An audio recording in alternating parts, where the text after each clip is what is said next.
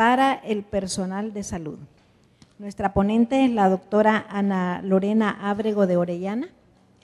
La doctora Ana Lorena es eh, graduada, médico graduada de la Universidad Evangélica del Salvador, residente de medicina interna en el Hospital Militar Central, hizo sus estudios de neumología en el Hospital Nacional de Neumología y actualmente es neumóloga del Hospital Nacional Saldaña y es secretaria de la Asociación Salvadoreña de Neumología. Gracias. En lo que me ponen la presentación, quiero hacerles un comercial. Invitarlos para el jueves 23 y sábado 24 de octubre para el vigésimo quinto Congreso de la Asociación Salvadoreña de Neumología, que será llevado a cabo en el Hotel Sheraton Presidente. Están todos cordialmente invitados, aparte de los temas neumológicos más, de las patologías más frecuentes, también vamos a tener el primer curso de espirometría auspiciado por la Federación Centroamericana de Neumología. Así que vamos a llevarles información más detallada, estén pendientes y los esperamos a todos en octubre. me pone el tema, porfa.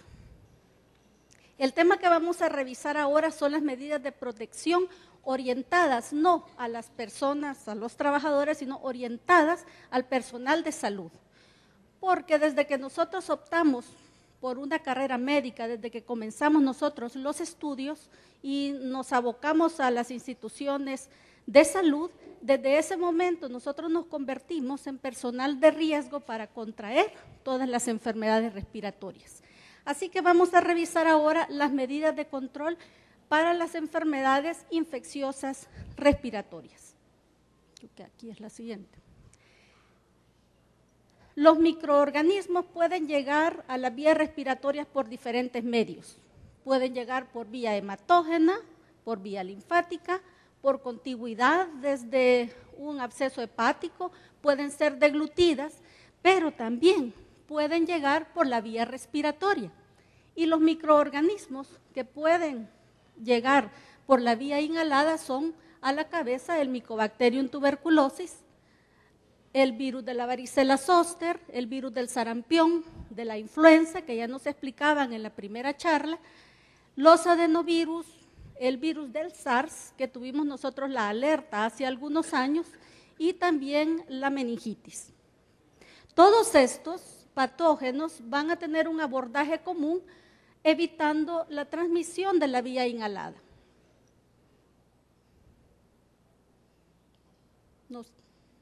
Me da la siguiente porque no pasa.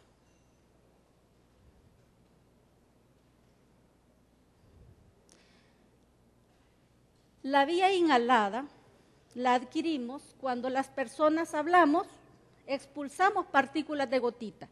Si tosemos o estornudamos, estas partículas van a ser lanzadas a una mayor velocidad y pueden alcanzar mayores distancias las partículas van a caer por, gravedad, entre más grandes sean, más cerca van a caer. Pero cuando esas partículas son aerosolizadas, pueden llegar hasta una distancia de 10 metros. Las partículas grandes pueden caer a cierta distancia. Si ustedes están ahorita a la par y alguien tose o estornude, no tengan la menor duda que les van a caer esas partículas. Pero tampoco nos confiemos que por el no estar cerca de una persona, estamos exentos de contaminarnos. Si alguien tose o estornuda, estas partículas pueden llegar hasta una distancia de 10 metros y dependerá del tamaño de esas partículas. Si son tan pequeñitas, pueden quedarse flotando en el ambiente. En nuestro medio tropical, nosotros tenemos la gran ventaja que el sol es nuestro aliado.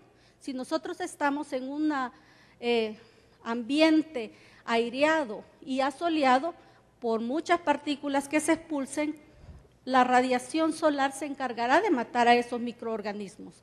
Pero si estamos en un lugar donde no existe ventilación y donde tampoco hay luz solar, esas partículas pueden quedar en el ambiente durante muchas horas. Y si alguien estornuda en un baño y después nosotros entramos, nosotros vamos a poder contaminarnos con esas partículas.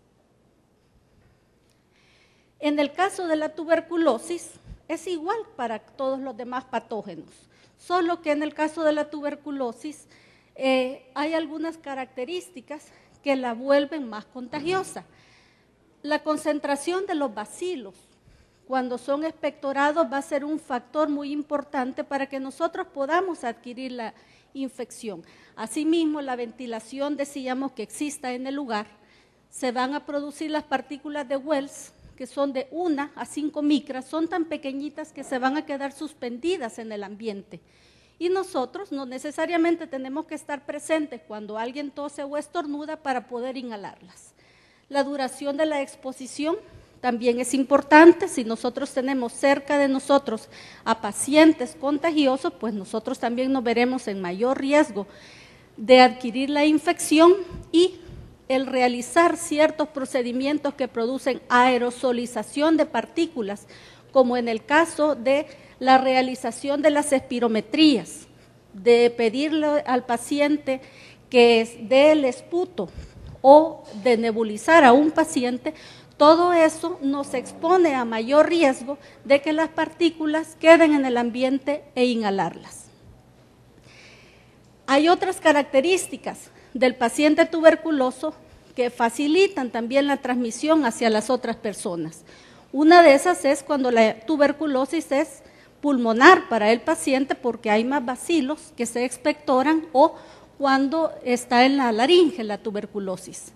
Cuando el paciente realiza todos u otros eh, procedimientos que provoquen aerosoles, entre más bacilos tenga el paciente tuberculoso, pues más facilidad para contagiarnos nosotros, sobre todo si el paciente tiene cavernas en sus pulmones donde sabemos que habrá millones de micobacterias que nosotros vamos a poder inhalar, pacientes eh, con cavitaciones decíamos, y los pacientes que no se cubren la boca al toser o estornudar.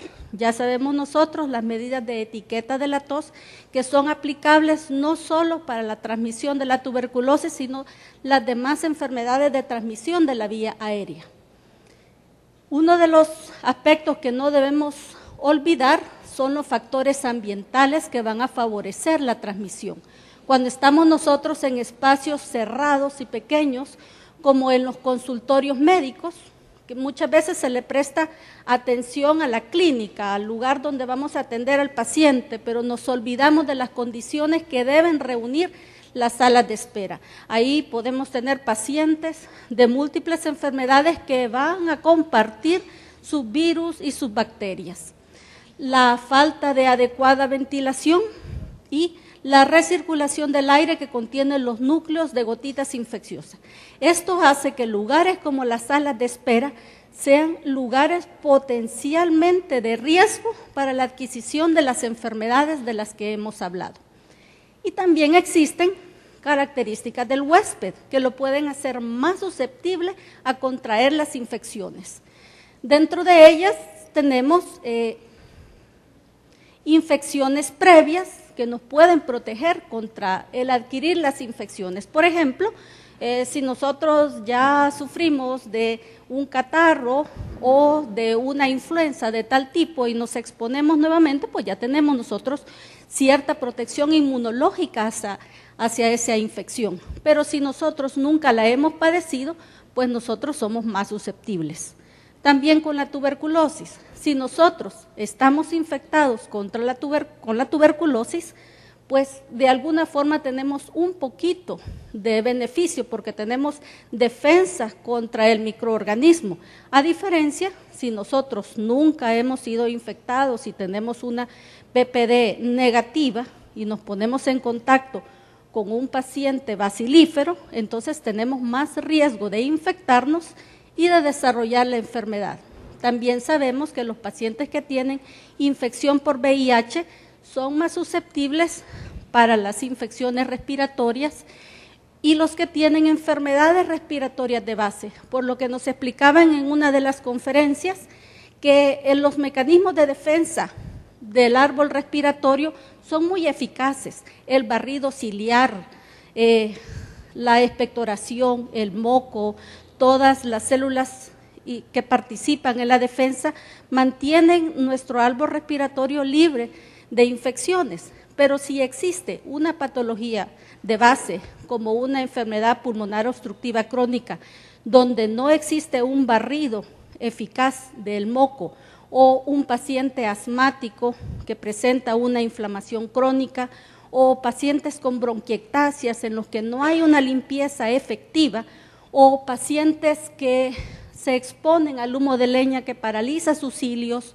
o el humo del cigarrillo que también deteriora la limpieza ciliar, estos pacientes van a ser más susceptibles de que al exponerse a alguna bacteria, a la tuberculosis o algún virus, puedan desarrollar la infección. Las vacunaciones, ya nos hablaron de ellas, son factores protectores para la adquisición las eh, infecciones y nosotros como personal de riesgo debemos estar protegidos. Sabemos que nos protegen la vacuna contra el sarampión, la vacuna para la influenza, es obligatorio que todo el personal de salud la tengamos, las vacunas para la neumonía, pero y la vacuna para la tuberculosis nos protege. Bueno, la, la BCG disminuye el riesgo de la progresión de infección tuberculosa latente hacia tuberculosis activa, especialmente en las formas diseminadas como la tuberculosis miliar y las del sistema nervioso central. Es decir, no nos va a proteger a nosotros ni a los pacientes de desarrollar tuberculosis, pero sí de desarrollar las formas graves de tuberculosis. Sin embargo, para el personal de salud existen estudios que nos eh, hacen pensar que podría reducir el riesgo de tuberculosis en el personal de salud, porque sabemos nosotros que vamos a estar expuestos, no necesariamente con tuberculosos ya conocidos. Vemos muchos pacientes sintomáticos respiratorios que no sabemos si tienen tuberculosis. A veces hasta que se van de alta nos enteramos que era un paciente tuberculoso.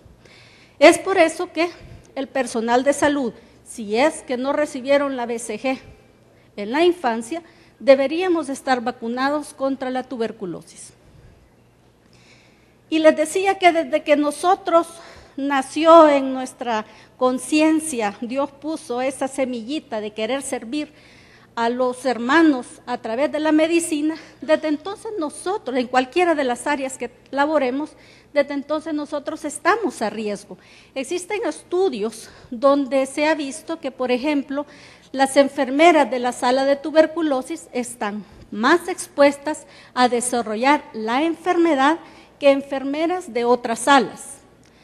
También eh, estudios de enfermedad se ha visto que puede existir transmisión nosocomial del personal, pero no solamente para enfermarse, sino para desarrollar la infección. Recuerden ustedes que la tuberculosis es una enfermedad que ha vivido con la humanidad durante miles de años y sobrevive porque no solamente vive en los enfermos, sino que vive en las personas que están infectadas. No sé cuántos se han hecho eh, la prueba de PPD aquí. Levánteme la mano. Poquitos. Pues deberíamos hacerla nosotros como personal de salud. Yo yo sí la tengo. Cuando era estudiante de medicina y hacíamos la prueba, bueno, a mí me salió negativa la PPD. Cuando me la hice la segunda vez, ya era residente de neumología y me salió de 23 milímetros, es decir, positiva. Soy infectada, no enferma, conste, pero sí, soy infectada. ¿Qué significa eso? Que, eh, bueno, yo estuve en contacto. Eh, obviamente, para estar infectada estuve en contacto pero soy una persona que mis defensas lograron eh, retener al, al, bacilo de la tuberculosis para que no, no, no progresara. Entonces, de cierta forma, yo estoy protegida por mis defensas. Hay de mí si me da alguna enfermedad inmunodepresora, entonces estoy más en riesgo de desarrollar la enfermedad. Pero cuando nosotros si somos PPD negativos, es decir, no tenemos defensas naturales contra la tuberculosis porque no hemos estado expuestos nunca, y llegamos a una institución de salud, ya sea una clínica privada, un hospital, cualquier sitio donde lleguen pacientes sintomáticos respiratorios y nos exponemos al vacilo de la tuberculosis, entonces nuestro cuerpo reaccionará por primera vez contra el bacilo. Si nuestro cuerpo gana en ese momento, pues nos quedaremos como infectados. Pero si quien gana es el bacilo, entonces vamos a desarrollar la enfermedad. He ahí la importancia de que todo el personal de salud debe tener una PPD para saber si ya posee defensas y si no las posee, entonces es momento de comenzar una vigilancia, porque en el momento en que ese paciente desarrolle una PPD positiva, quiere decir que acaba de estar en contacto con el bacilo tuberculoso y su riesgo para desarrollar la enfermedad se incrementa. Tenemos entonces que el personal de salud estamos más en riesgo de desarrollar tanto infección como enfermedad. Y si vemos aquí, los estudiantes de aula tienen incrementado el 12%, los estudiantes del área preclínica un 16% y los estudiantes clínicos un 23% de incremento en comparación con estudiantes de otra área como los de área de ingeniería.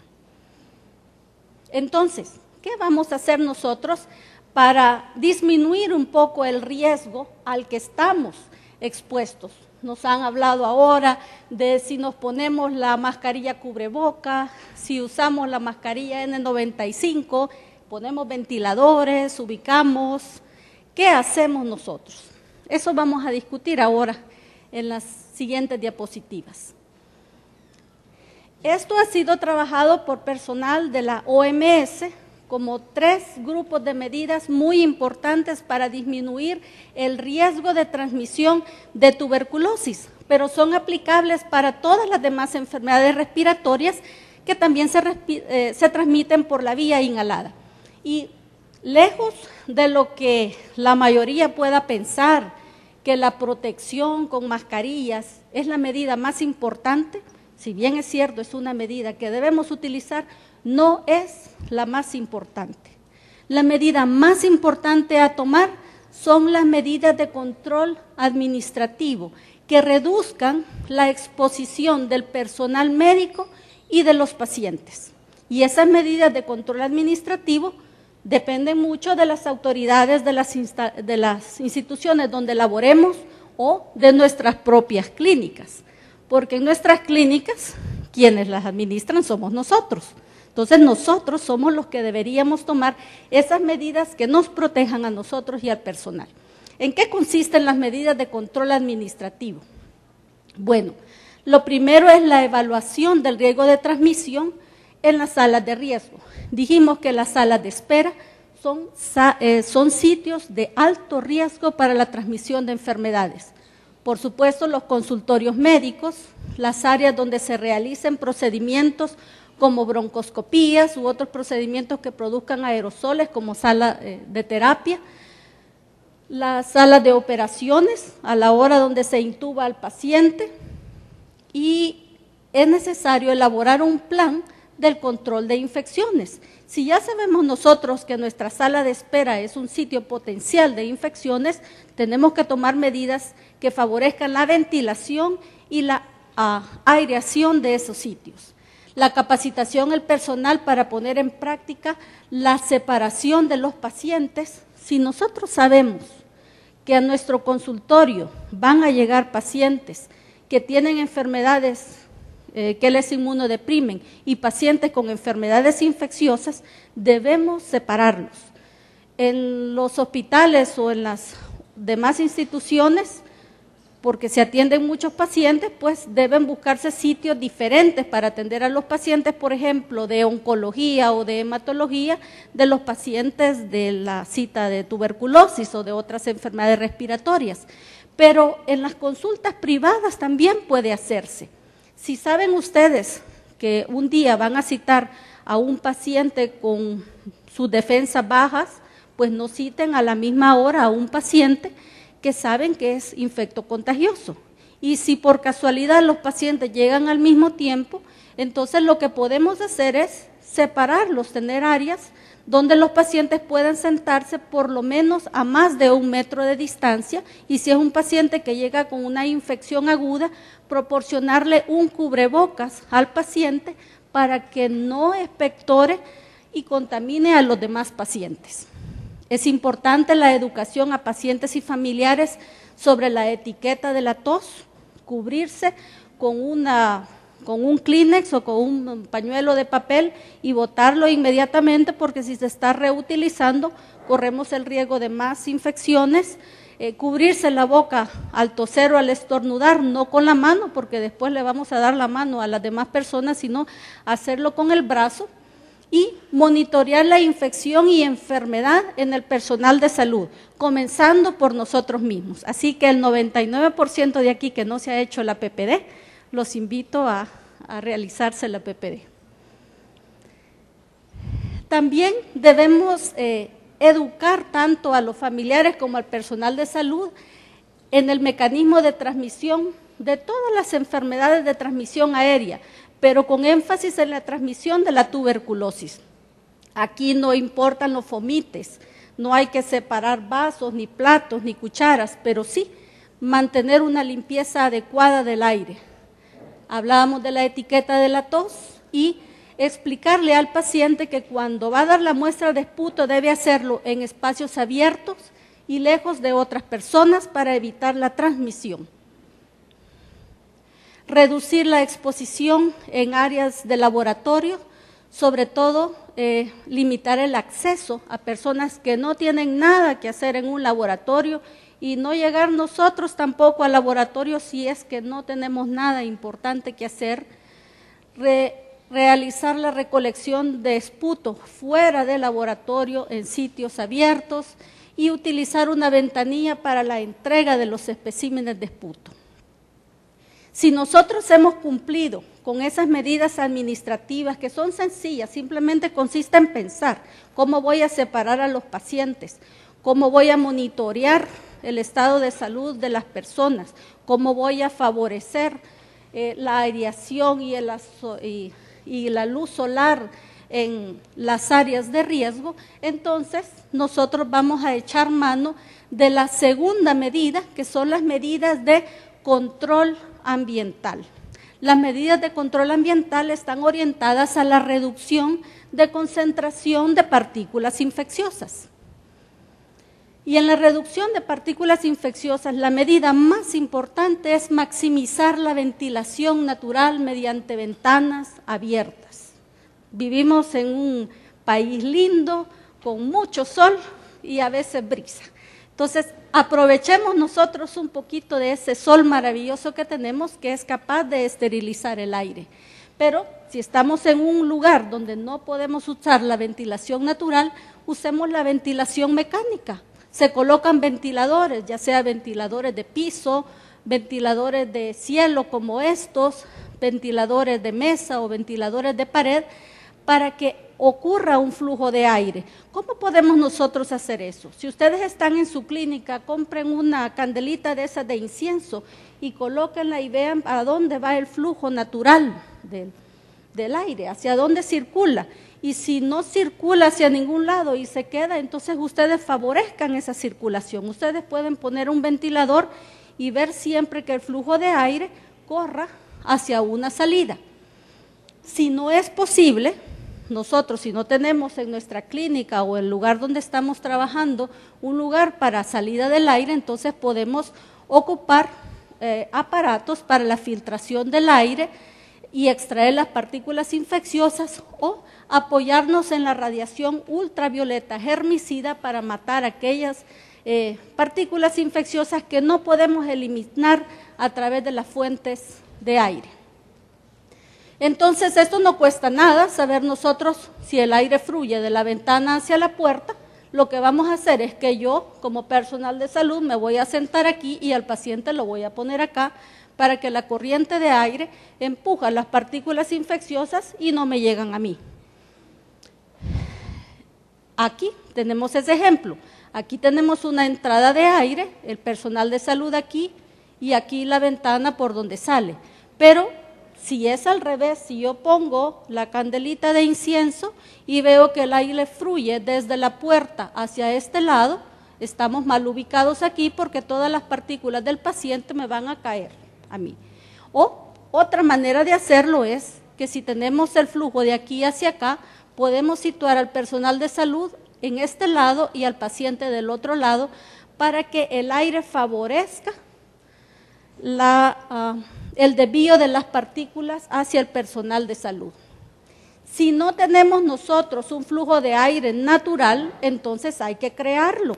Se puede crear a través de eh, ventiladores como aire acondicionado que desvíen el aire hacia una salida para que barra con todas las partículas infecciosas. Lo anterior era para los pacientes atendidos en un consultorio y esto es un ejemplo para los pacientes que tenemos en salas de hospitalización.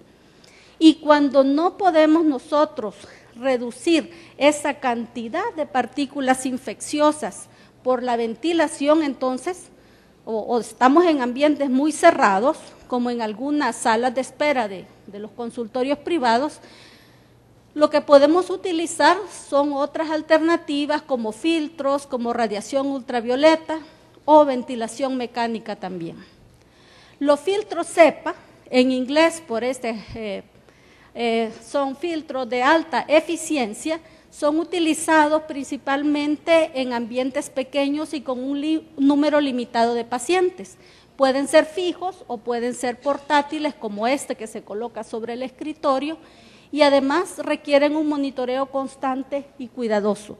Son filtros que tienen una gran cantidad de láminas que van filtrando todas las partículas del aire para que eh, el aire que se encuentra dentro de una habitación que no tiene una ventilación natural, o bien tiene una ventilación natural, pero la exposición es eh, de mucho riesgo, por ejemplo, en un consultorio de tuberculosis, lo más recomendable es tener estos filtros EPA. De hecho, los aviones tienen los filtros EPA. Ellos los utilizan porque como están en una cavidad completamente cerrada, donde no se pueden abrir las ventanas, entonces para la circulación del aire se filtra a través de los filtros EPA. Si no se puede eh, utilizar filtros EPA y no se tiene tampoco disposición de la luz solar, entonces podemos utilizar las ventajas esterilizantes de la luz ultravioleta entre 200 y 280 y estas pueden utilizarse en áreas amplias y cerradas, por ejemplo, en servicios de internación para pacientes infecciosos. Puede ser para UCI, para salas de procedimientos, para salas de tuberculosis. Estos proveen una radiación continua de la capa superior de la parte del aire, porque no se dirige hacia la parte inferior porque pudiera causar daños a los pacientes y al personal pero requiere que tengamos un mecanismo de circulación del aire para que todo el aire pueda esterilizarse. Es de utilidad limitada cuando los techos son muy altos porque no se va a favorecer la circulación del aire y estas lámparas tienen una duración entre 7 y 14 meses, de forma que deben estarse cambiando regularmente y también eh, darles el mantenimiento de limpieza que debe hacerse con alcohol y no con agua, y tener todos los cuidados para que se mantenga una luz esterilizada. Las áreas que podrían beneficiarse de estos mecanismos que son más costosos, los, los filtros CEPA y la radiación ultravioleta, pues no está recomendada para sitios que no son de alto riesgo. Los sitios de alto riesgo decíamos que van a ser las áreas y habitaciones de aislamiento para pacientes con tuberculosis principalmente, pero también podría ser para otras salas de pacientes infecciosos respiratorios, áreas y habitaciones para la recogida y provocación de formación de esputo, centros de broncoscopía, salas de quirúrgicas, unidades de cuidados intensivos y salas de autopsias. Y la última medida que lamentablemente a veces es la última en que confiamos y debería ser la última, pero no la única en quien confiar, son las medidas de protección del personal en las áreas de riesgo. Y aquí tenemos las dos grandes medidas, las mascarillas cubreboca o las mascarillas quirúrgicas y las eh, respiradores, que les decimos mascarillas, pero en realidad su nombre son respiradores. Son diferentes a los respiradores que se utilizan en la industria, que nos acaba de hablar el doctor Víctor Castro Gómez. Los de la industria son eh, un poquito diferentes. Los que se utilizan para eh, el área médica deben cumplir otros requisitos. Las mascarillas o cubrebocas evitan la propagación de los microorganismos de la persona que lo lleva puesto ya sea que lo lleve puesto un médico o que lo lleve puesto el paciente.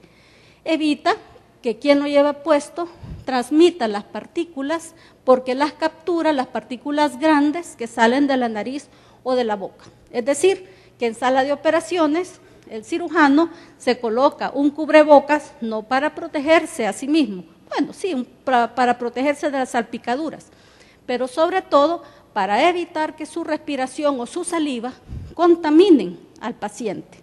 De la misma forma, si nosotros queremos protegernos de un paciente infectante, debemos darle un cubreboca al paciente que llega con una enfermedad infecciosa aguda, por ejemplo, el que llega con gripe o el que llega con catarro común, proporcionarle una mascarilla para que no esté contaminando a las otras personas de la sala de espera. No tiene ningún sentido que si yo me quiero proteger y voy a una sala de internación de tuberculosis, yo me ponga una mascarilla cubreboca. No me estoy protegiendo para nada. Lo que sí nos puede proteger a nosotros de las partículas infecciosas, ya sea tuberculosis, SARS o cualquiera otro de los microorganismos que emerjan, son los respiradores. Son un tipo especial de máscara capaces de filtrar partículas de una micra y se colocan de manera ajustada sobre la cara. Debe quedar muy ajustada sobre la nariz y eh, sobre las partes laterales de la cara para evitar fugas. Y dependiendo del lugar del mundo donde se fabriquen, así deben cumplir ciertos criterios. Por ejemplo, en Australia le llaman P, en eh, la Unión Europea las FFP y en Estados Unidos quienes la certifican son la NIOSH. Por lo tanto, nosotros acá en América le llamamos las N. N95 quiere decir las que nos protegen contra el 95% de las partículas de una micra, las N99 las que nos protegen contra el 99% de las partículas de una micra y las N100 que no nos protegen el 100%, pero sí el 99.7% de las partículas de una micra. Estos respiradores son desechables, es decir, deberían usarse solamente una vez. Sin embargo, su costo es alto. No sé, nunca he comprado uno de forma particular, no sé cuánto valen, pero sí a las instituciones que se compran miles les cuestan más de un dólar cada uno. Entonces no sé cuánto estará costando en forma privada. Pueden reutilizarse en varias ocasiones si se guardan adecuadamente. Y quienes más las dañan son la humedad, la tierra y el aplastamiento. Si nosotros la utilizamos, la podemos guardar en una servilleta de papel para evitar la humedad y el aplastamiento y en el momento en que ya está muy húmeda porque el ambiente era muy caluroso o se manchó de maquillaje o tiene o se aplasta, en ese momento hay que cambiarla. ¿Cuánto nos podría durar?